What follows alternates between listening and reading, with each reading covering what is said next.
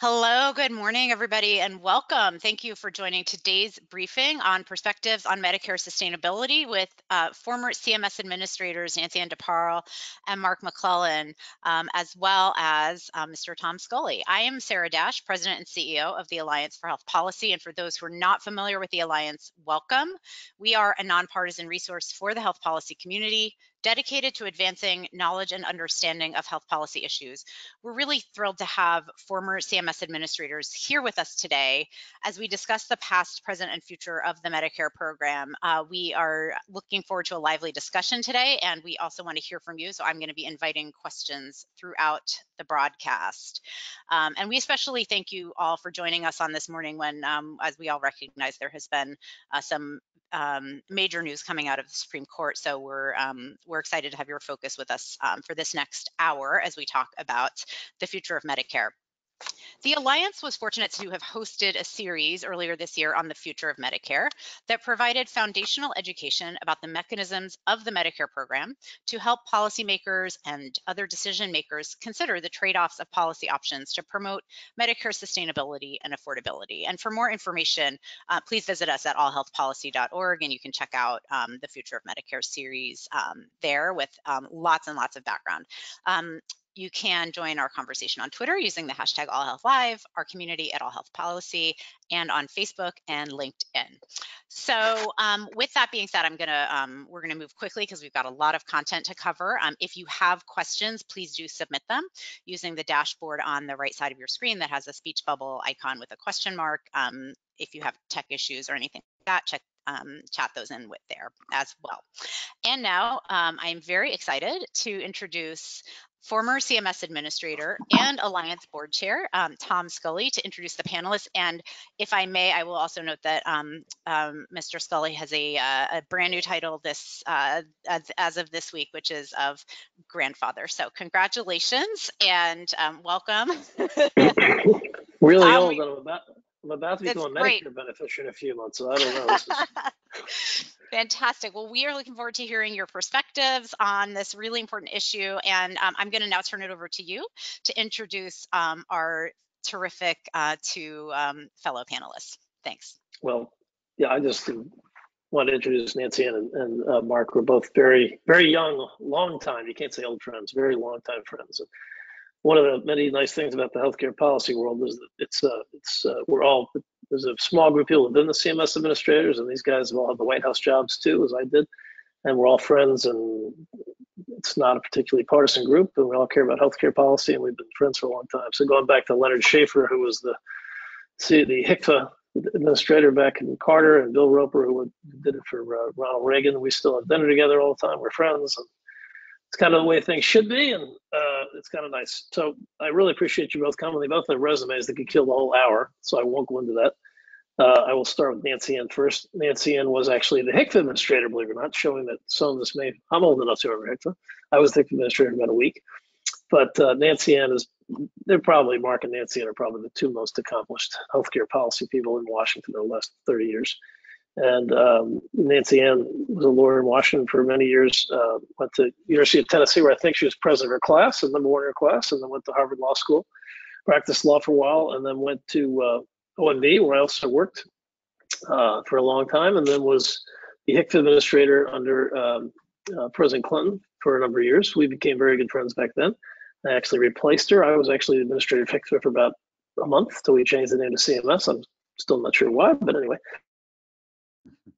Uh, and then has gone, gone up and done a number of other things, but uh, among other things, she obviously was uh, uh, uh the CMS administrator. Then she came back as the uh, White House deputy chief of staff and spent most of the Obama administration running way broader things than healthcare. So very few people in Washington have ever touched healthcare policy in as many ways as she's been. As she has most recently, she's been a very effective and successful private equity investor, mainly in New York the same business I'm in, and uh, has done incredibly well at that. But uh, nobody on the Democratic side has anywhere near the history of healthcare and health policy and CMS slash HCFA that Nancy Ann has. Uh, on the Republican side, Mark, I've also known for a very long time. Um, Mark also has 800 degrees, most of them from Harvard, MD, MBA. He's got a zillion of them. I can't read them all. So they're all on the website. But uh, he is a long time healthcare policy expert. Uh, when I went to run CMS in 2001, Mark was the White House health policy deputy, and I had to report to him, so I couldn't do anything without asking.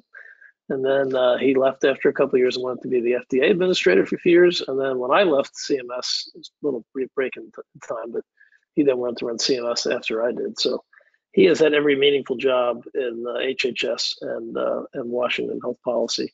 Uh, he's now at Duke of the Margolis Center. He's got multiple other jobs at Brookings. But uh, there's virtually nothing in the last 30 years in healthcare policy that one of these, either or both, in many cases, both of them at the same time, didn't have a big hand in. So, as far as the history of CMS and how it works, as well as the history of Congress and Medicare and Medicaid policy and exchanges and Obamacare, which Nancy Ann was incredibly involved in, uh, Mark and I were very involved in doing the Medicare drug benefit, Medicare Advantage. I think we kind of we kind of did a lot of cooking that up when we first got there. So it's, it's hard to find a major health policy that these guys don't have their fingerprints all over. So you couldn't possibly find two better people to talk about CMS and uh, healthcare policy and where it's going. And even better, they're still good friends. So that's a quick introduction, I hope. But thank you guys for doing this very much. Great. Thank you so much. We're really looking forward to your perspectives. Um, I'd love to start off, and Tom, while we have you, I'd like, like to actually get everybody's thoughts on this. Um, so you walk in the door, you're, you know, HCFA, um, which is, by the way, that was Healthcare Financing Administration um, back in the day. Um, and now CMS, so you walk in the door, you're the administrator, you're responsible for not only, um, it's worth noting, not only the Medicare program, but also Medicaid, now um, the, you know, many components of the private insurance market. Um, but, but I just want to kind of focus on, on Medicare, you know, we talk a lot about in health policy, we talk about policy, we talk about transformation, we talk about sustainability, right? Like that's what we're here to talk about. But oftentimes, I think sometimes the operational piece gets lost. And so I actually want to start um, with what sometimes gets left as an afterthought, which is that operational piece, you know. And Tom, let me sort of turn to you first, right? Like you're course on the Alliances board, a tiny nonprofit. You're on many other boards. You see companies kind of um, rise and fall. When you talk about, when you think about Medicare sustainability, um, and, and, and sort of implementing um, change, what does it take at an operational level to um, to really succeed in a program like Medicare, as large as Medicare, and that covers so many um, so many beneficiaries.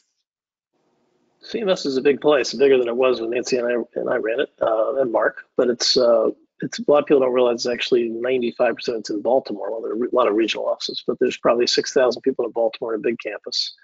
Uh, it is very apolitical, at least as far as I'm concerned. The career staff, many have been there for a long time. They they they they you know outlast the political people.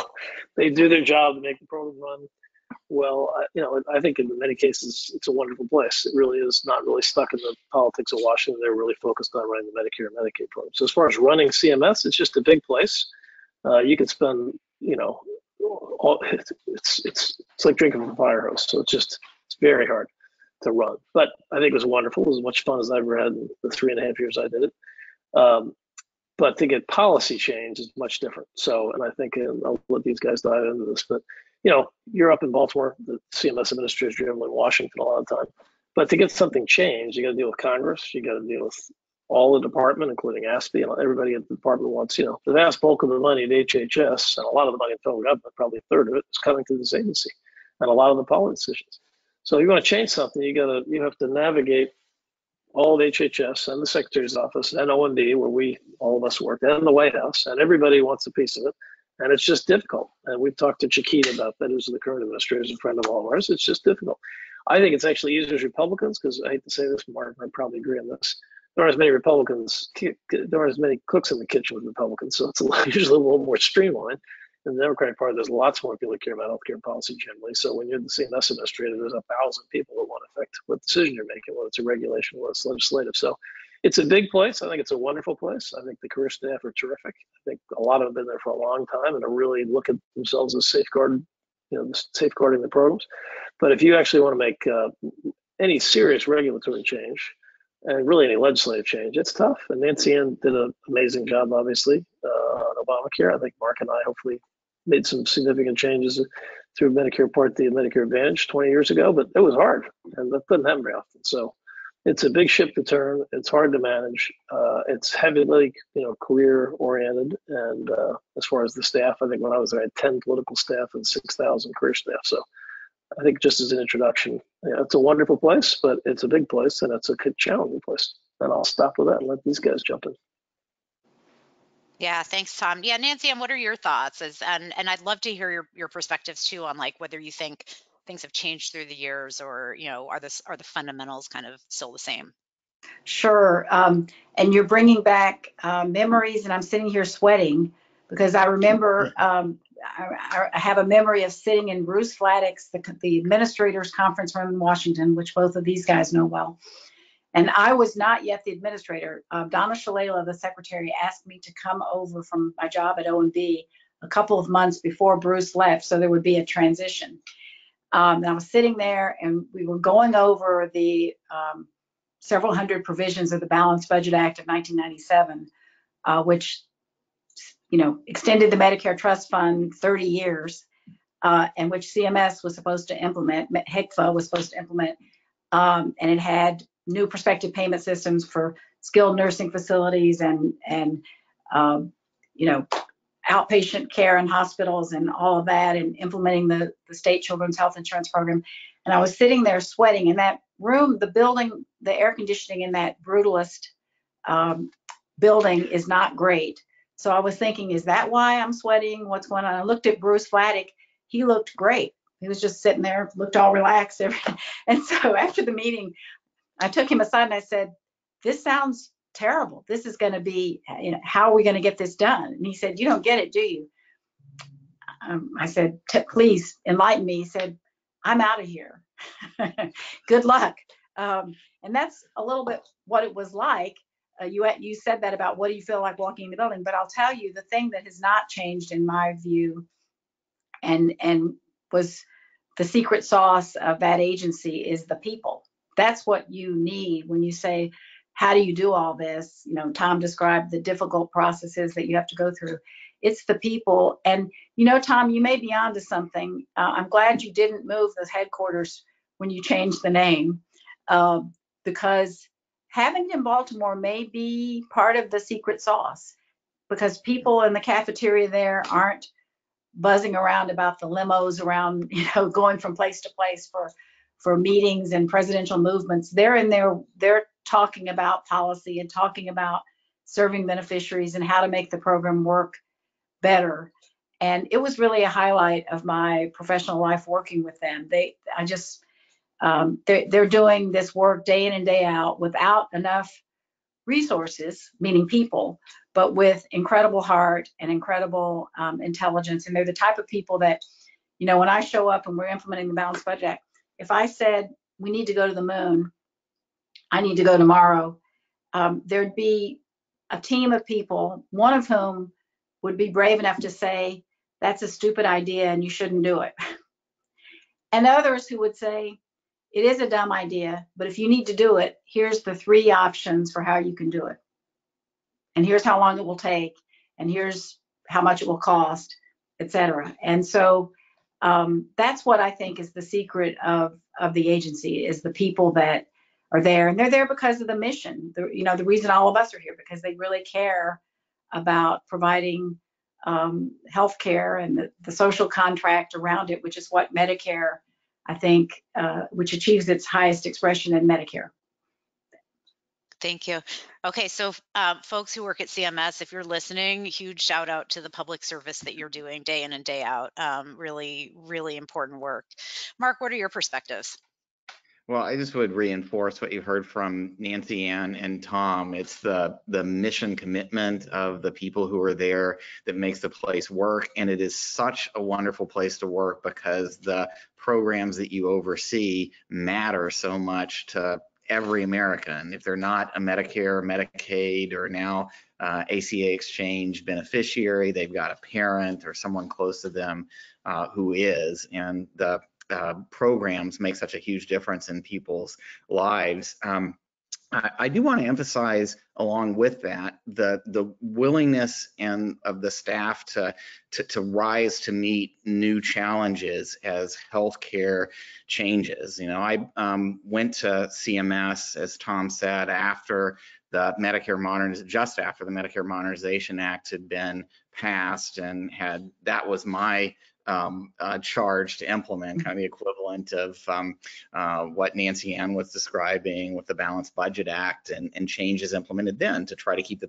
the program up to date financially and the changing nature of uh, medical services provided. You know, Medicare previously hadn't covered prescription drugs. That was like 2006 when uh, um, that took effect, 2004 when uh, uh, I went over and we started to implement. Um, I'd come from FDA, which was also a very mission driven place, but one with a a somewhat different kind of culture because it came out of uh, um, your, your, legislative participants will know this, but it comes from the Public Health um, Act, uh, Public Health Act that oversees the nation's public health agencies. Um, CMS, previously HCFA, had come out of the Social Security Administration, which um, had as its original culture um, being accurate and uh, uh, correct with paying out um, for critical either social security benefits or, or, medical services. And what's happened with, with CMS over time, I think this is reflected in the, the name change, is um, more of an evolution to not only thinking about are we paying accurately, but also thinking about what kind of difference is the way we pay making in how healthcare is delivered. I remember my first talk to the CMS employees after getting there from from FDA and was really excited about the opportunity, aware of the challenges. For example, we were going to cover prescription drugs. We didn't have, I think, any pharmacists on our uh, on our staff. Uh, so there's a big, you know, billion dollar appropriation for our implementation support, staffing redesign, and, and outreach um, to beneficiaries related to the program. And remember telling the staff, you know, you are the nation's largest public health agency because the the way that you pay makes such a difference for people's health. And you know, a, a bit of applause. Then you know, one of my advisors took me aside after and said, you know, Mark, we're we're actually under the Social Security Act. You're not at FDA anymore. I said, well, the point is that that things are changing. And if you look at a lot of the uh, new challenges that CMS staff have risen to meet, it's increasingly about again, paying attention to getting the payments right, not overpaying, not paying inappropriately, being financially responsible, but also I think sustainability, just like it is in every other aspect of business, it's not only about like how much did you spend, how much did you make, what was your net revenues at the end of the year, but but what are you doing to uh, to make this program really work in the world for the long term? And that's increasingly a challenging part of the job at CMS. And, you know, I, I wish the resources to support the agency were keeping up with that. Just as a for example, you know, coverage of treatments like um, Aduhelm have been in the news lately. Well, if you look at the staff that's overseeing everything to do with new technologies and coverage, um, there are fewer people there, Sarah, with advanced degrees and and you know technical backgrounds now than there were when I was administrator. So they're having to do a lot with very limited resources with a job that just gets more important uh, and more complex as healthcare continues to advance. Mm, thanks. I'm, I'm really glad you raised that because that was definitely going to be one of my questions. And you also ran, of course, the FDA, and so you're, you know, you're you've really been on the vanguard of of uh, medical and scientific advancements, Nancy, and with your role in you know investment, like you're looking at sort of the changing landscape of healthcare. So mm-hmm. we've talked a lot about the operation, but let's let's let's actually talk about that now. Like the the changing context of healthcare and healthcare delivery is CMS you know, are we set up? Um, and, and I, will say CMS is an agency, but like the Medicare program itself, right? Like we went through this in our 101 a few weeks ago. We talked about Part A, B, C, you know, of course, Medicare Advantage, D, the the drug benefit, right? Like all of these things were kind of built upon one another. Um, I, you know, I mean, we we know all these things are involve a lot of trade-offs. It can be very political. It's policy-wise very challenging, but like are we set up for success to deliver on um, you know the changing mm-hmm. landscape of healthcare. And like feel free to bring in you know the the latest public health crisis we face right which is covid right? Like i think about even just the fact that we needed to make a special decision um, um, a, a one among many for example to cover like covid tests at the pharmacy for example. So i'm, I'm curious like again, from your standpoint as former CMS administrators, like putting this in the context now of the future of healthcare technology, innovation, scientific advancement, but also care delivery. What are your Well, I actually think that's a great, um, a- a great example is the way the agency has worked during the pandemic. I mean, there is that decision that was made by the agency, um, using authority they had. Um, they made decisions to quickly allow, um, critical access hospitals, for example, to provide, um, telehealth, uh, because people couldn't come to the hospital. And that was a weird area where the telehealth statute itself, they thought they had expanded. Congress thought they'd expanded it, but it didn't help critical access hospitals because they're in a different statute. So there are things that that the agency was flexible about. Um, they created this um, designation called hospital without walls in order to be able to handle that. I'm sure uh, there were people who were uncomfortable as they as they stretched and reached to do this, but they did that because they knew they needed to keep um, Medicare beneficiaries um, in the forefront. And somehow, without being in the office together up there in Baltimore, doing it just like we are today, they figured that out. So I think that's a good example. And another good example is uh, the CMS Center for Innovation. And before that was there, we could only do demonstrations that that Congress, you know, statutorily allowed us to do. So we weren't keeping up with anything. We were way behind. Um, lots of people in the business world or, or in healthcare policy world would come to us with ideas. We couldn't do anything about them because we were, you know, I can remember my first day, someone sort of lecturing me on Medicare covers only those items and services that are reasonable and necessary for the diagnosis and treatment of a disease or a malformed body member. That's the statute. That was it. Um, nothing experimental, nothing, you know. So we've come a long way from there. And I think the Center for Innovation, which Sarah, you you previewed that I've said I think there's some some uh, um, bipartisan um, solutions to some of the problems of sustainability. I think the Innovation Center is a place where there is bipartisan work, where uh, we saw Secretary Price, who had had you know moved and been a driving force behind repealing the Affordable Care Act 50 times or something before he came to be secretary. But when he got there as secretary, he saw the value in the Innovation Center. And if anything, they doubled down on some of the ideas about moving toward value, moving towards um, more collaborative and ongoing partnerships with a broader group of stakeholders, um, strengthening patient engagement. All of those things are bipartisan. So I actually think the agency does now have some of the tools it needs to do that.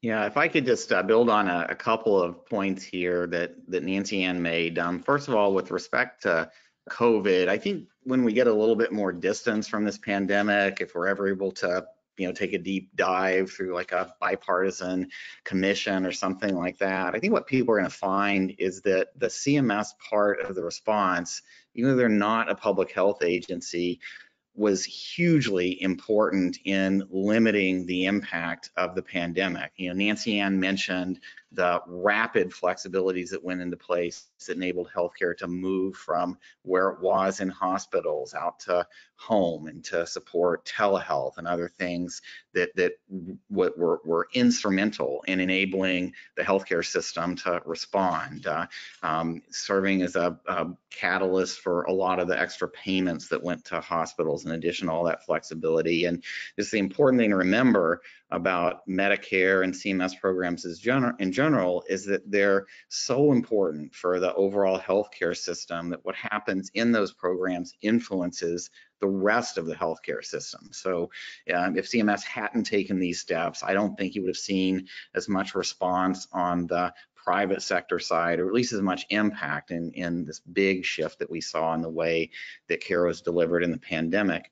And CMS has also helped shape some of the public health response too. You know, pandemics used to be mainly about so-called non-medical interventions like isolation, and we still have all that in uh, COVID, but we're now living in an era with all of the progress in synthetic biology that you can expect, as Nancy Ann mentioned, you know, tests that can identify an infection within days of that infection being discovered or isolated. You know, we can do this for any major respiratory infection today. Treatments that can be developed within weeks to a few months.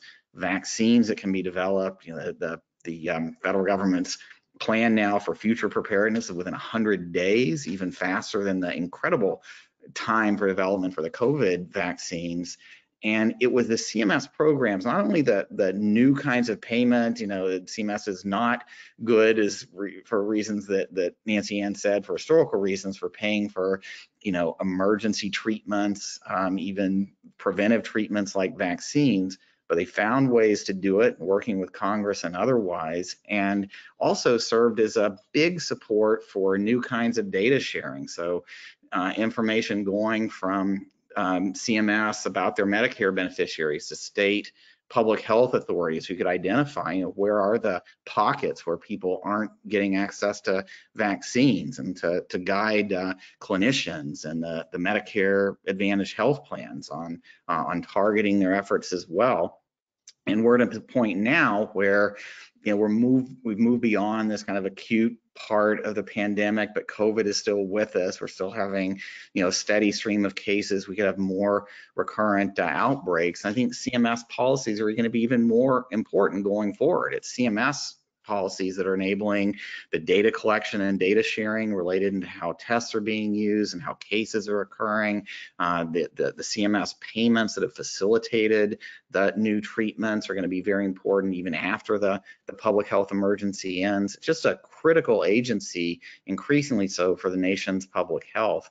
And you know, with respect to innovation, it still is challenging. You know, Nancy Ann's right. The Innovation Center has helped get care up to date. Um, but you know, we still haven't fundamentally changed the statute for things like um, very um, prevention-oriented treatments. Those either need an act of Congress or they have to go through this extensive process with the um, uh, U.S. Preventive Services Task Force to be covered. If you look ahead, we've got a lot more early diagnostic technologies coming for cancer, for all kinds of other genetically mediated conditions. Um, and it's still not a great fit with those benefit categories that were designed in in 1965. So a lot of creative work by the staff having to continue to keep it up to date.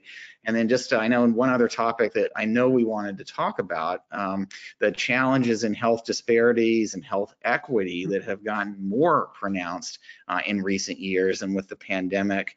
Well, there are a lot of steps that the federal government can take, that the private sector can take to do something about it. But CMS, with its authorities under the Innovation Center, is probably best positioned of, of any federal agency to make a big difference. There are so many healthcare organizations out there today that are trying to be proactive and reaching out to beneficiaries that have been traditionally hard to reach, that face structural or other barriers to getting care, and that the usual models don't work um, CMS is now implementing a, a, new model in its innovation center called the ACO REACH program that's intended essentially uh, as a high priority to improve equity by trying innovative approaches through the, these digital technologies through community-based services, through integration with social services, through finding out and addressing barriers to care like transportation or hunger, hard to take your meds, even if they, they're well covered, if you, you're worried about where you're gonna eat next. And they're trying to implement programs that will directly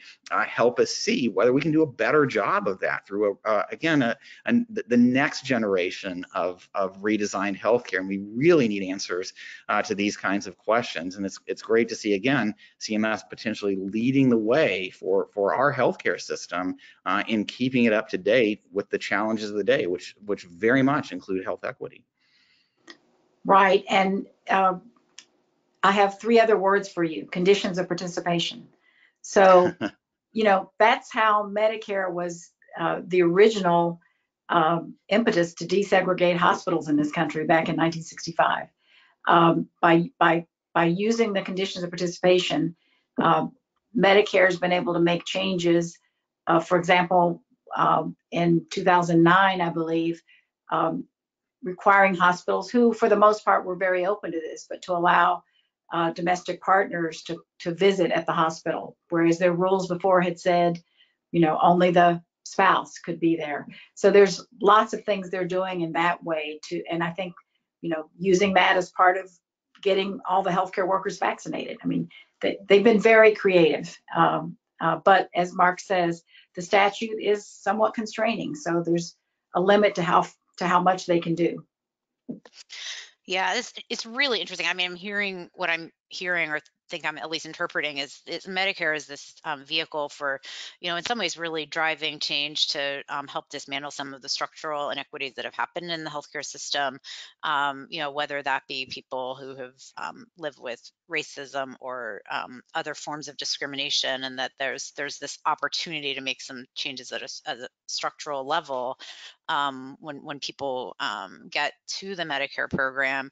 Um, I want to pull on another thread though that you guys mentioned, which is and and Mark, you gave some really interesting history about um, kind of the the culture of you know the the sort of dollars and cents you know making sure we're paying correctly not overpaying stewarding the public taxpayer dollar et cetera um, in the medicare program. But then also you you really emphasize medicare's kind of evolving role as a public health agency. And so like when we think about this conversation about sustainability like so often again the trustees are focused on like this is the hospital insurance trust fund the part a like when does the money run out? Is there um is there a broader concept of sustainability or stewardship that needs to be constructed in sort of the the public mindset around like stewarding the health or the health outcomes of medicare beneficiaries? And that of course includes health equity. Like I, am curious you know um, of course medicare is also a driver of quality and outcomes measures but can you talk about that piece of it as well? Like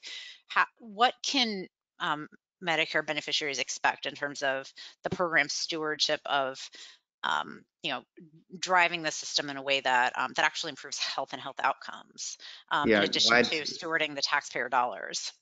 Glad to, and I'd like to hear Nancy Ann's per- perspective on this too. And if you ask any company today about sustainability, of course they're going to tell you about, well, you know, here's our here's our financial plan and how we're not going to have losses and uh, be able to continue and and you know hopefully grow. Uh, but they're also going to tell you about environmental impact and community impact and things like that that, that really are important for long-term success. And that's I think increasingly finding its way into the way Medicare does its work.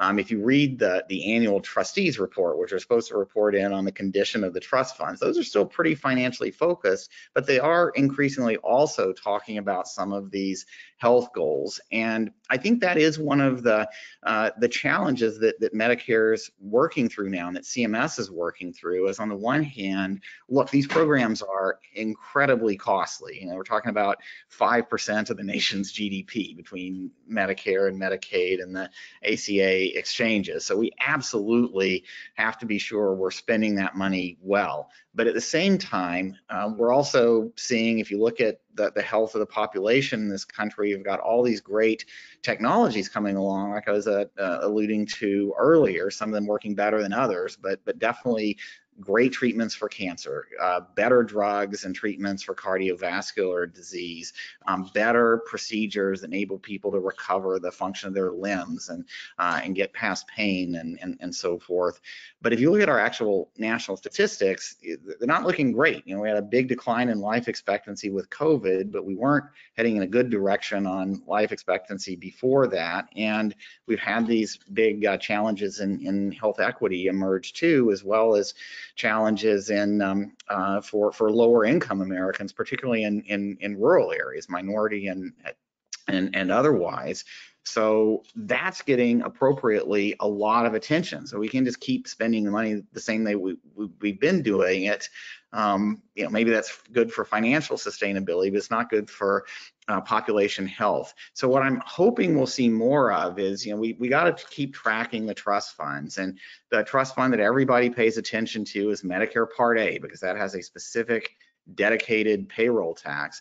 But people remember that there's also Medicare Part B, Medicare Part D, and those are a, a, larger and faster growing parts of Medicare because that includes outpatient services, physicians, drugs, uh, et cetera, that are very important for the future of medicine. It became even more so during the the, the pandemic. So I think it's important to look at the total spending in these programs and, and are there ways to make that uh, more financially sustainable, but link that up to where Medicare, I think, is really trying to head. If you uh, listen to the leadership of, of CMS, and, and again, the staff, I, I think, really believes this, that they're really trying to focus on getting the best health experience at the person level. So they've set this goal of by 2030 having every Medicare beneficiary, hopefully everybody in our healthcare system in a uh, comprehensive care relationship with a like a primary care provider or, or whatever works best for that person that's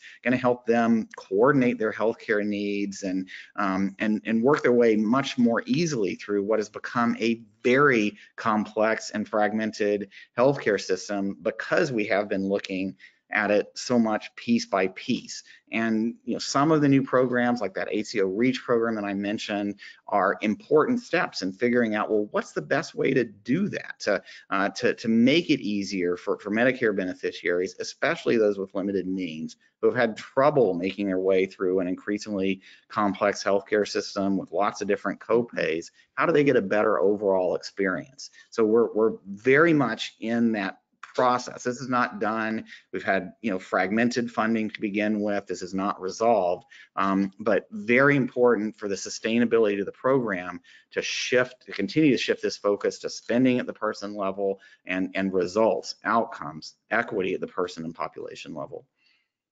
You know, Mark, I, I couldn't agree with you more. Um, I'm a student of the trustees reports like you are, and you know, read them carefully and have for years. And, and as I mentioned, the Balanced Budget Act, which um, the agency implemented while I was there, extended the trust fund solvency from 01 to 2030, which was a big achievement.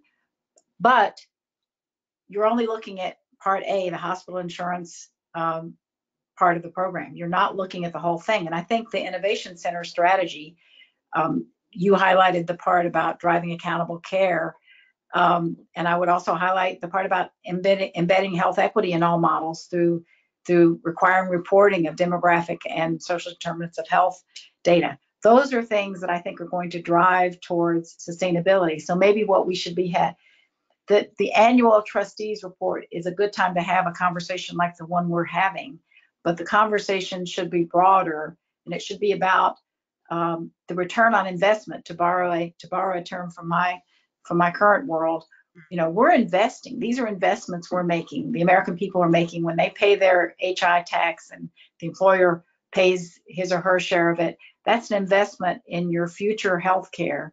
What are the returns on that investment? And we want it to be more equitable, higher quality, um, more efficient health care. Are we getting that? That should be the conversation, I think, not so narrowly focused on how many years of solvency do the actuaries think we have? Um, so uh, that's something, Sarah, I think that the Alliance has done a good job of um, year in, year out, focusing policymakers and those who who uh, care about policy on. And I'm, I'm glad you're doing it because it's very important. I will say, as a former budget official, um, I, I've spoken with several others who have been uh, focused on the budget side of things over the years who have all had a similar reflection, uh, feeling a little um, queasy, honestly, about um, the extent to which um, maybe budgetary concerns um, could have, I think didn't in this case, but could have um, hurt our efforts to be able to respond to this public health emergency that we had. Because it's one thing to focus in on, you know, is this payment, is this particular payment system uh, paying appropriately or is it overpaying? And, you know, is it market basket minus one or market basket minus point whatever? You can get very into the weeds and details. And, but then when you go up a few, you know, feet, you start to look at, okay, in this community, uh, in this rural area, what's there for people if we had a public health emergency? Is that hospital, you know, are the margins sufficient to keep that hospital open? And I think Medicare um, as as our as our American, you know, co- social contract with seniors, we all we all pay into it. I think it has a broader responsibility to keep those assets there to, to supply the graduate medical education mark for you know uh, to to help with staffing and that's part of what we're paying for so the conversation needs to be um, broader than just focused on the little individual payment systems and whether they're accurate or not Mm. So I I, I want to ask you my favorite question, right? Um, I, I'm loving this conversation, which is, um, what would need to be true to make that broader conversation happen? I mean, we have like wonderful, brilliant, you know, trustees. We have these systems set up to kind of look at the system a certain way, and so this is kind of the pie in the sky question, if you will, right? Because like you've got as you know you were you were at OMB too like you've got budget people who Mhm. are who have rules and constraints. You've got folks on the hill that have a certain culture and you know like also have constraints. They have to run stuff by CBO they can't just be like well let's look at the budget and you know did we also reduce heart attacks? Like there's there there we don't really have those structures and systems in place necessarily. So what I'm curious to hear from you is like like what would need to be true what obstacles would need to be removed what what would need to be true in terms of relationships or ways of thinking or like new structures do we need a medicare you know beneficiary council just as much as we have a trustees you know as a set of Hmm. trustees like like what- if you if you were to think creatively and without constraints like where would you go You know, what I thought about when you were describing that, um, and this is the way you think sometimes as a CMS administrator. Well, is there anything that says I can't do that? Um, and you know, people will give you advice about whether it's prudent to do something or not. But in, I think something like that, I don't think there's any reason why the trustees report couldn't be broader. Yes, it has to have all the information, in the low, medium, high, and all, all forecast, et cetera, and all the actuarial work that's done. But I don't see why it couldn't also have a report on Part B and a report on Part C and a report on Part D and a report on uh, the Innovation Center and what it's doing to advance Medicare. Um, I don't know why it couldn't have that. And in fact, I would argue that it probably should. When I was at OMB, um, one of my mentors was the, well, first deputy director, then the director, Alice Rivlin. And she decided we needed to have a um, citizens um, version of the budget. And it took some work to get everyone to agree to do this, but instead of, so we did the typical, you know, several feet of budget documents every year that are required by statute. And then we did a special report that was maybe 10 or 12 pages that explained to the American people why they should care about the budget and what it said about our national priorities. I don't know if it's continued, but something like that I think would be useful with respect to Medicare.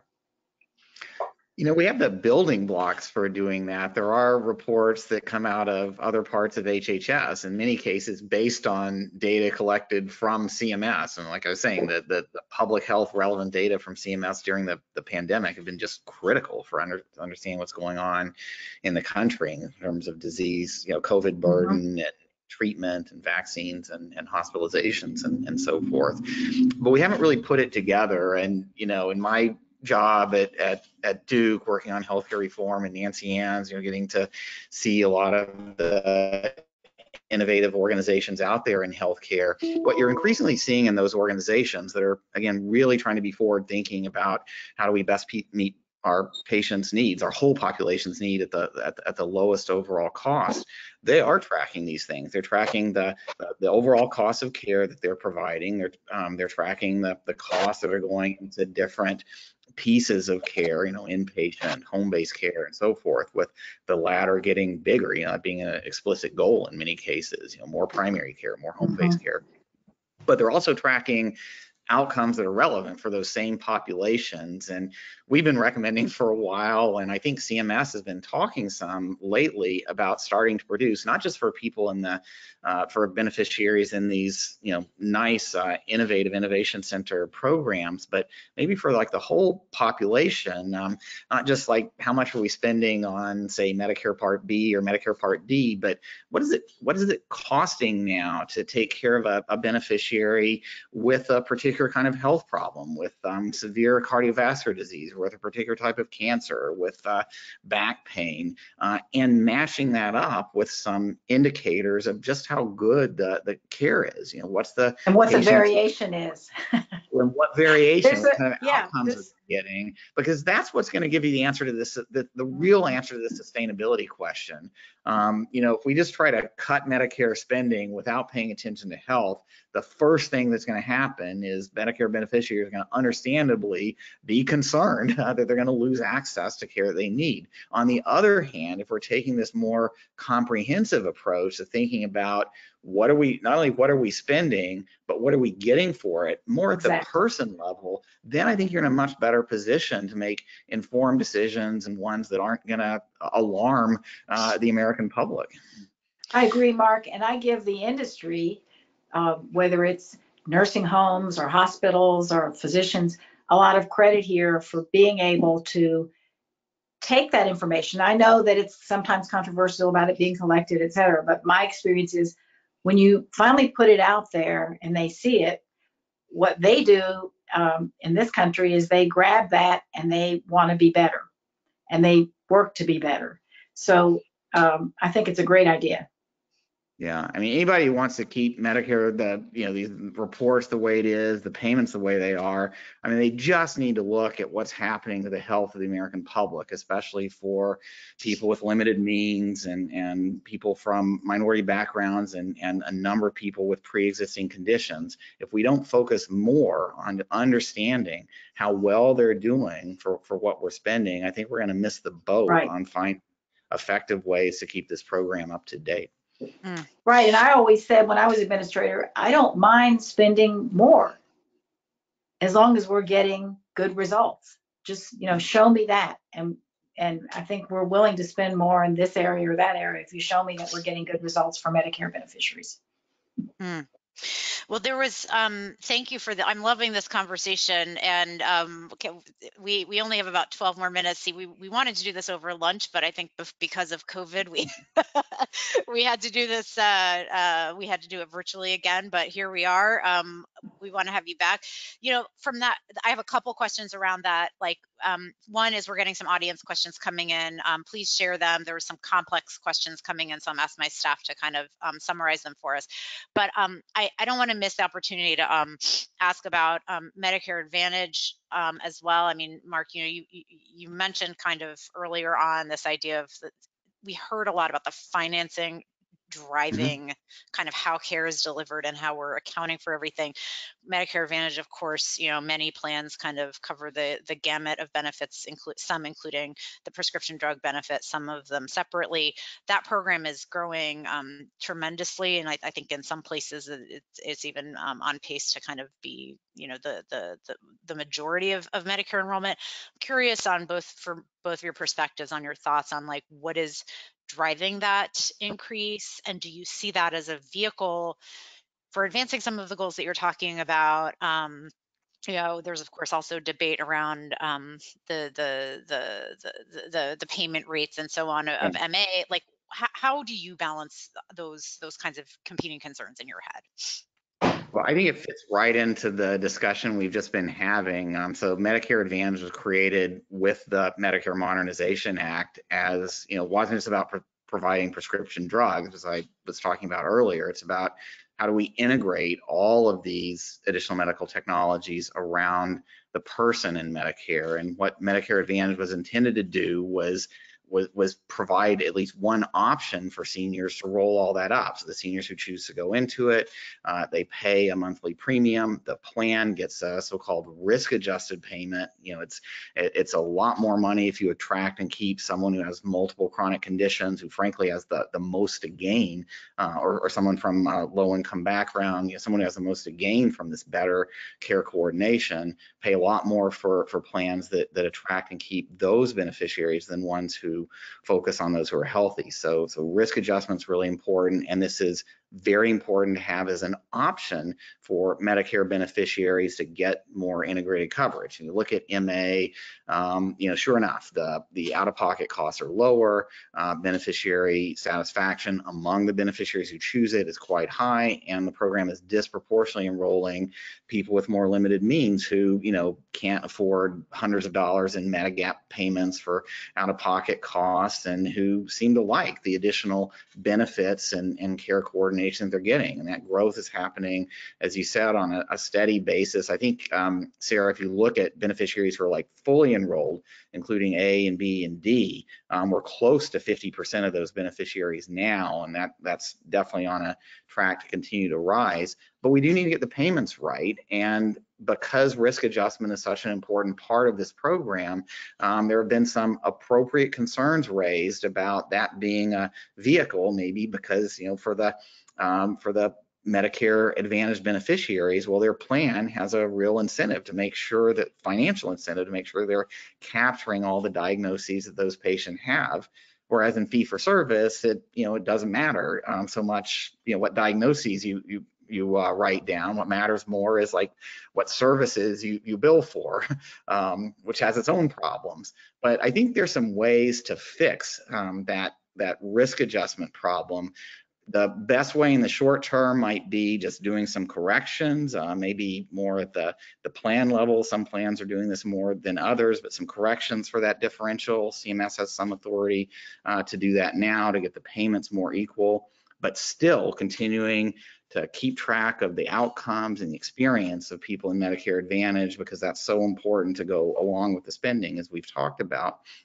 And I think for the longer term, um, look, we have better electronic data systems now, and what a lot of the, the leading healthcare organizations, whether they're a health plan or a healthcare system that's trying to do this person level care, they want to be paid more at this person basis so they can do a lot of things that, as we talked about earlier, Medicare traditionally doesn't cover or doesn't cover well. There's much more flexibility in Medicare Advantage and in some of these alternative payment models like the ACO program and ACO Reach to cover broader telehealth, to cover social uh, services that can help people avoid costly emergency room visits and so forth.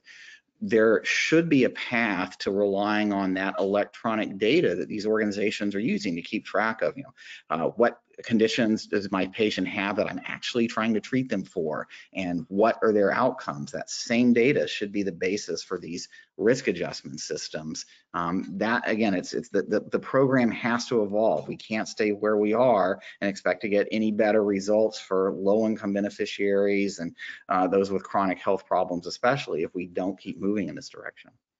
Yeah, and again, I couldn't agree more, Mark. Um, you know, I was there when we launched uh, Medicare Plus Choice, which was in the Balanced Budget Act and was became Medicare Advantage.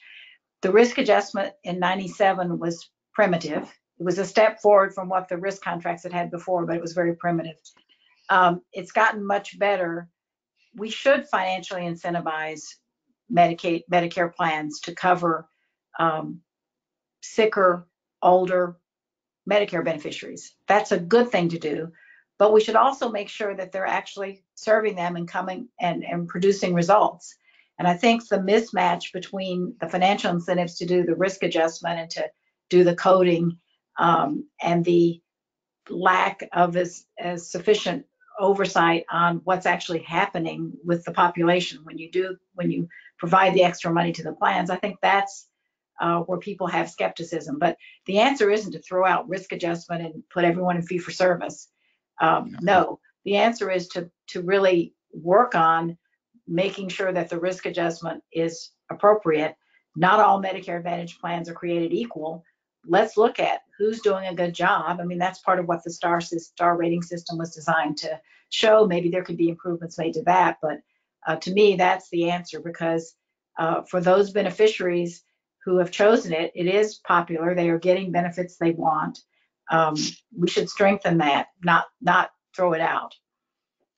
Yeah, if there's one thing that Congress could do, and maybe uh, Nancy Ann, we can find some more bipartisan support for this. If you spend a billion or a couple of billion dollars on helping CMS modernize its information systems and get a better infrastructure in place to do these things right. Remember, this is an $800 billion program plus per year. Um, if we really want to enable the agencies, these staff are working really hard and have these important goals. They're seeing what's wrong with American healthcare and, and population health outcomes today, and they're really trying hard to do something about it, especially from an equity standpoint. Um, not that much spending in the big picture could really help improve their ability and the transparency around all of this, the quality of the data, um, inform those trustees reports and, and, and other program improvement activities could, could really help move us in the right direction. We, we can't stay in fee for service and expect to get better results either from a spending standpoint or a, an, an outcome standpoint. Well, the data is so lagged, and you're right. It used used to be a bragging point that um, Medicare's administrative costs were less than one percent of the of the pie, and I'm sure that's still the case. So they do need more resources to do the things that we're talking about.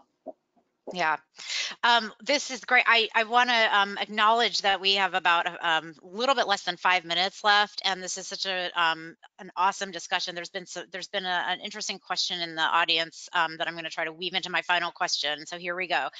You are two of the most um, well-versed people really in the country, in the world about the um, the Medicare program. Um, if you were sitting down at the kitchen table of um, a senior or person with a disability, a Medicare beneficiary right now, someone's grandma, aunt, uncle, what have you, about the future of this program you know maybe they're wondering we're the richest country in the world why can't we afford more benefits maybe they're wondering why is you know why is this so hard to navigate? Maybe they're wondering like how do i find a doctor whatever. Tell tell them um, what your thoughts are on the, the future of the program and, and what they should be um, listening to is you know undoubtedly we're going to be getting bombarded with political ads and things um, here and there over the next few years as it relates to medicare but but straight from you um, folks who ran the medicare program um, what would you tell them? Well i would you know, I'm reminiscing about my grandmother, who was one of the first beneficiaries, sitting at her kitchen table uh, in Rockwood, Tennessee, and her telling me about this new program called Medicare that President Johnson had done. And she had a little box on her table where she kept her uh, medical bills. And she said, I wonder if it's really going to help me. I don't, my grandmother was a little skeptical. Um, and she died at 98, having been a Medicare beneficiary from the beginning. And I think the data still shows, Mark would be closer to this than I am, that if you make it to 65 in this country and are a Medicare beneficiary, congratulations, because you will have a longer lifespan. And we even in this in this way, we actually, at least we used to compare favorably to other countries. In many other areas of health, we don't, Mark, as you as you pointed out. But in this area, because of the comprehensiveness of the benefits and because um, Medicare is there for them. So I would say, um, you know, congratulations. Uh, this is a great benefit, um, you know, that you can use wisely, and I'll help you. It is, it is, can be hard to navigate. I had my, I helped my own uncle um, trying to choose among um, 50 or 60 mark of your of your Medicare Part D plans that were offered in his little town.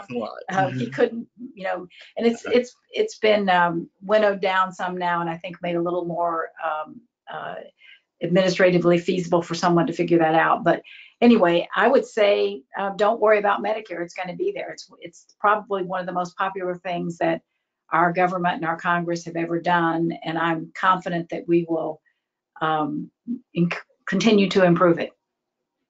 Yeah, and I just add, you know, get the facts on Medicare change. One thing about Medicare has been clear throughout this discussion is that the program is going to have to continue to change. Its benefits need to be updated. We need to be spending more upfront on diagnosing problems early and getting out there and meeting people where they are, making it, you know, I don't think your grandmother, Nancy, I could even imagine, I couldn't imagine 20 years mm-hmm. ago what healthcare is going to be like today. And so be sure or try not to get scared off by you know political slogans of oh this change is coming and it's going to be bad. Good reasons to be skeptical but especially if you can pay attention to the kinds of things we've talked about today not just what the, the costs are, but, but what the outcome or, or benefit implications are. Some of these changes, updating the Medicare Part D drug benefit to provide catastrophic coverage, moving more in the direction like ACO REACH of protecting against um, uh, social factors that are such an impediment to, to health equity today. Those can be good changes, and, and I hope we can work together to help bring those benefits to, um, to, to everybody's grandmother. That's awesome. Well, thank you so much. On that note, um, we are right at time. Um, Nancy Ann DeParle, Mark McClellan, it has been a real honor and a, and a pleasure to, to be with you for this hour. Um, we had um, also Tom Scully with us and he was listening in. Uh, so um, we are thrilled to um, again have had this conversation hope to have more. Um, i think maybe some new ideas came out um, so hope folks have been listening. Um, thanks again. For those who want more background on the basics of Medicare, um, the, some of the policy options that are at play. Again, check out allhealthpolicy.org. We've got a lot of info for you. Again, um, Dr. Mark McClellan, Nancy Parle, thank you for spending your morning with us. We hope you have a wonderful um, rest of your Friday, and we'll talk again soon. Thank you. Thanks. Thanks so much. Thanks, guys.